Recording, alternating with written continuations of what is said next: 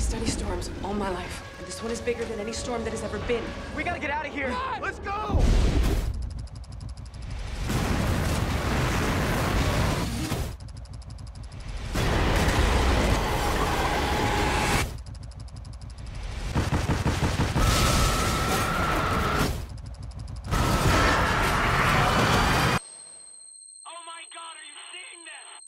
Into the storm.